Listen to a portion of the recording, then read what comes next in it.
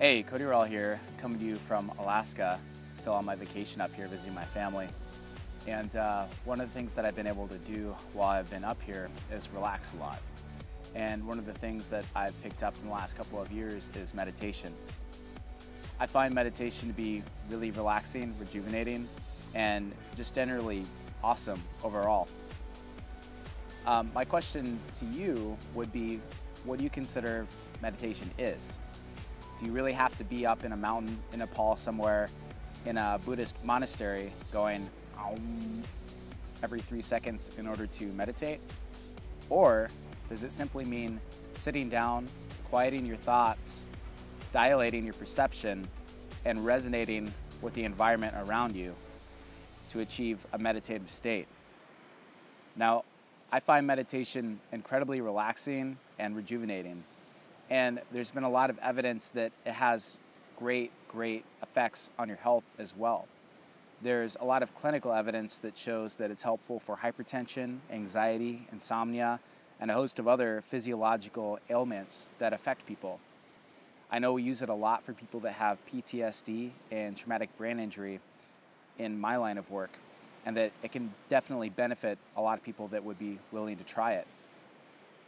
One of the things that people have been looking at in the last couple of years is actually finding the evidence on the molecular basis of what meditation really does. So we know that it has these clinical benefits, but no one's been able to show exactly what exactly is happening on the cellular level to actually make it beneficial. Some work at Massachusetts General Hospital and Harvard Medical School has been looking at actual genetic changes that happen on the molecular scale with meditation.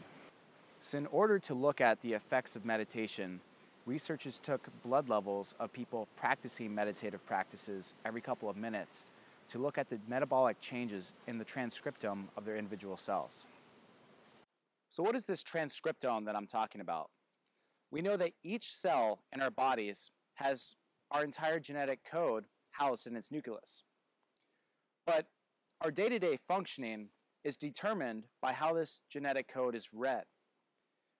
Influences by the environment, things that we do, stages in our lives, all affect the way that the DNA is read and translated into proteins. Sort of the irony about aging is that our molecular machinery that produces energy, mainly in the mitochondria of each cell, produces molecules that are actually harmful and toxic to the cell that cause aging. Mainly, these are called reactive oxygen species. Now, the cell has different mechanisms in place to protect ourselves from things like the reactive, reactive oxygen species. And it does this by changing expression of the genetic code through what's called the transcriptome. Now, some of the specifics on this. In the genetic profiling of these people that were undergoing practices like meditation, they looked at specific proteins that were being expressed. Ones that were increased in expression include ATP synthase and other regulatory genes on insulin. Now, these are very protective for cells and protecting the person from developing obesity, meta- metabolic syndrome, hypertension, and other physiological ailments.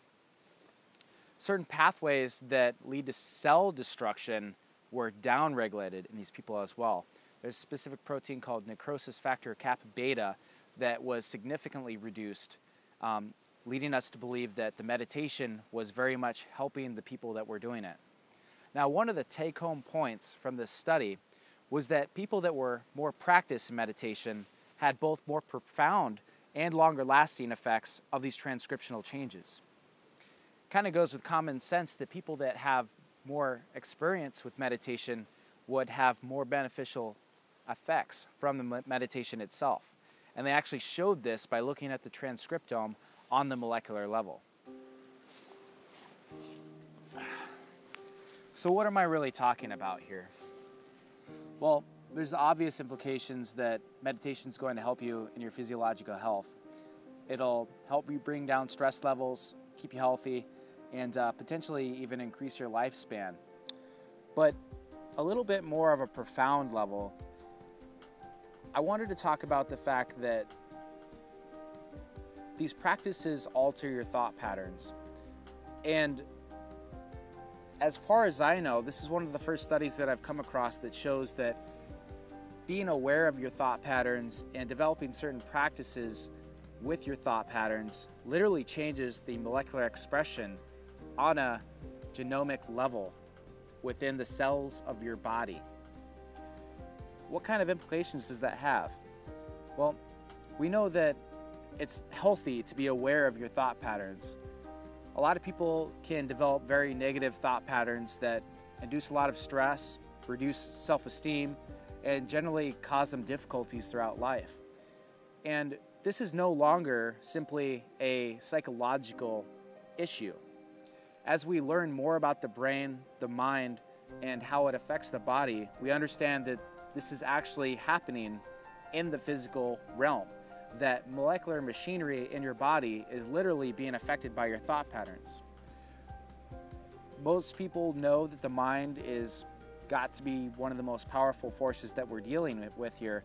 But I think once you take hold and realize the implications that it literally is changing the molecular machinery in your body, and that practicing things like meditation and being aware of your thought patterns and having optimism and being thankful and having gratitude really affects your physiological well being right down to the molecular level.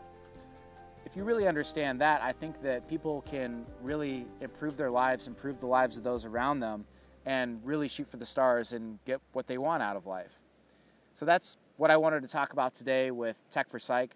I very appreciate you guys tuning in and leaving comments and uh, let me know what you think. And uh, I hope the rest of your week goes great, and I'll talk to you again sometime soon in upcoming videos.